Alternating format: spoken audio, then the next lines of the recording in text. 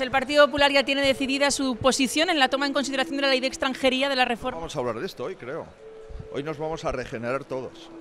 Muchas gracias. ¿El PP podría apoyar las medidas que Sánchez anunció hoy sobre regeneración democrática? Muchas gracias, de verdad.